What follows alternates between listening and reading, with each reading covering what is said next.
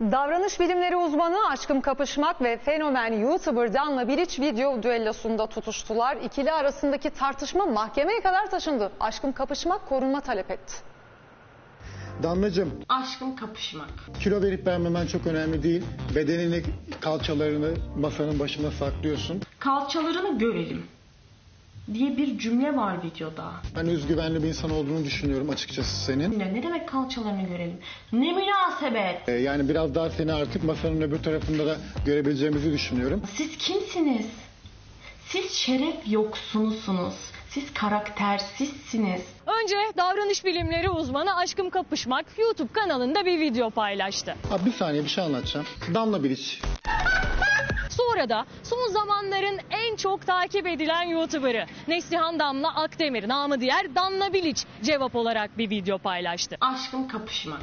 Bu konuda çok sinirliyim. İkili arasındaki tartışma, gerilim giderek arttı ve sonunda bu tartışma davalık oldu. Geleceğin mesleği YouTuber'lık olabilir ama geleceğin değeri edeptir. Hiç haddinize değil. Hiç değil. Bu da benim size cevabım olsun. Ben Allah'tan başka kimseden korkmam. Siz o videoyla çok büyük bir şeref yoksunu olduğunuzu ispat ettiniz. İki günlük insanlara da ya gerçekten yalana dolana da papuç bırakmam. E, o kadar güçlü zannetmesin kendini.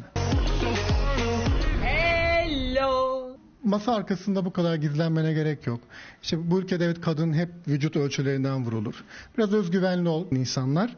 e, duruşuna ve görüntüsüne değil diye bir yayınladık. Videoyu biz ekip onu menajerine gönderdi. Bu da belgeli bir şekilde var. Diyeceksiniz ki niye böyle kahkaha atıyor?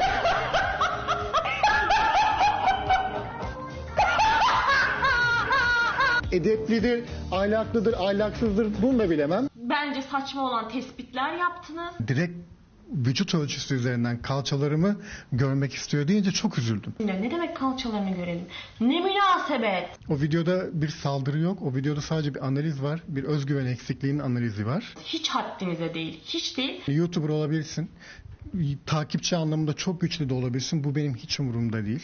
Hiç umurumda değil. Siz benim erkek arkadaşımı görseniz yolunuzu değiştirirsiniz. Bak bu kadar net söylüyorum. Bu da bir tehdittir baktığında. Yani bu subliminal bir tehdittir. Hello. Ama konu benim anneme, kadınla ilgili algıma gelirse orada valla babam olsa karşına dururum. Beni aşağıladınız ama sorsanız ben aşağılıyorum. Aynı şeyi ben yaptığımda bana demediğinizi bırakmazsınız. Ağzınızı yayarak, Türkçeyi katlederek, farklı algılar oluşturarak orada insanlar size bir dur diyecekler. Siz kimsiniz? Siz şeref yoksunusunuz. Ben bir dava açmak zorunda kaldım. Bir hakaret davası açıldı maddi manevi. Bir koruma talebi. Siber saldırı şeklinde üzerime bir sürü e, fake takipçi gönderiyor. Hakaretler bilmem neler. Efendim, Merhabalar, Damla Bilic'in menajeriyle mi görüşüyorum? buyurun. Damla Bilic'ten de görüş almak istiyoruz ama. Yok hayır, bir yorum yapmak istemiyoruz. Düşman değilim sonuçta. Yani sadece üzgünüm ve kırgınım.